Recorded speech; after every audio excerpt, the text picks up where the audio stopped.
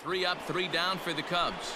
We'll move to the third with no score. Batting ninth, the pitcher. Now batting, Ray Mann. He'll get to take his first cuts here. High in the air and deep to straightaway left. Back goes Peterson to the track, to the wall, into the bleachers, and gone.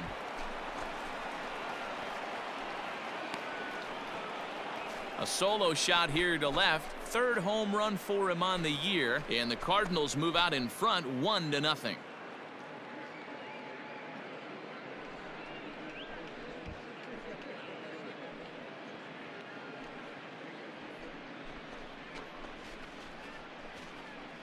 Well, if you're going to get your first hit of the game, you might as well do it with a bang. He thought he could squeeze one past him, but he thought wrong.